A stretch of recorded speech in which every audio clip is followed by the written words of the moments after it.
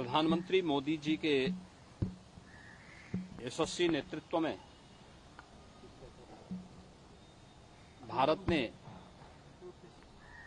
अपनी आज़ादी का अमृत महोत्सव, पूरी भव्यता और दिव्यता के साथ आयोजित किया।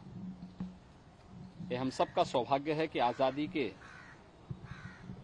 अमृत काल के प्रथम वर्ष में हम सबको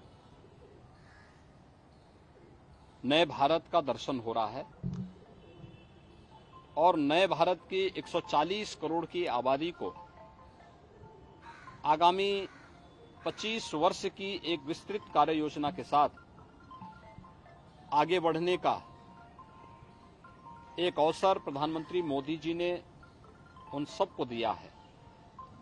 कि देश जब अपनी आज़ादी का शताब्दी महोत्सव मना रहा होगा दो में उस समय कैसा भारत हो? स्वाभाविक रूप से हर राष्ट्रभक्त भारतीय के मन में एक इच्छा होगी कि उस समय एक सशक्त भारत एक समर्थ भारत और दुनिया का एक सक, एक सबसे बड़ी महाशक्ति के रूप में एक नए भारत का दर्शन भारत को हो जो दुनिया को नेतृत्व करता हुआ दिखाई दे रहा हो। उस भारत के लिए, ऐसे समर्थ और सशक्त भारत के लिए, एक शक्तिशाली भारत के लिए, जो कार्यक्रम दिए गए हैं उस कार्यक्रम की श्रृंखला में माटी को नमन, वीरों को वंदन, विरासत के सम्मान के इस कार्यक्रम को आगे बढ़ाने के कार्यक्रम का शुभारंभ आज मेरा सौभाग्य है गोरखपुर महानगर की टीम के द्वारा। इस कार्यक्रम को आगे बढ़ाया जा रहा है।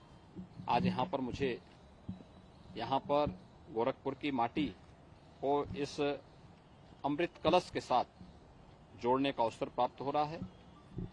प्रदेश भर के हर नगर निकाय से, हर विकास खंड से ये कलश एकत्र होकर के लखनऊ और फिर दिल्ली के लिए जाएँगे।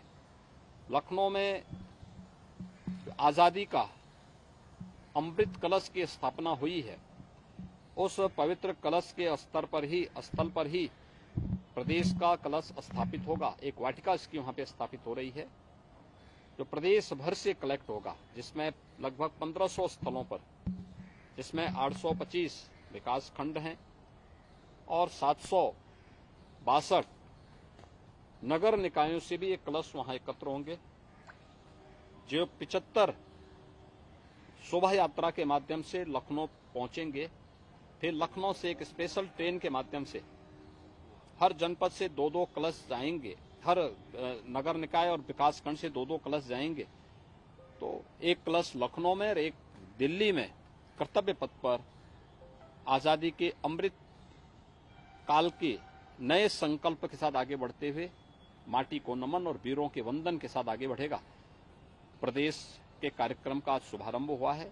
मैं इसके लिए गोरखपुर की पूरी टीम को हृदय से बधाई देता हूँ और विश्वास व्यक्त करता हूँ कि प्रधानमंत्री मोदी जी के विजन के अनुरूप हम सफलतापूर्वक माता भूमि पुत्रोहम पृथ्व्या के इस भाव को आगे बढ़ाने में सफल होंगे और ये कार्यक्रम सफलता की नई ऊंचाइयों को प्राप्त करेगा।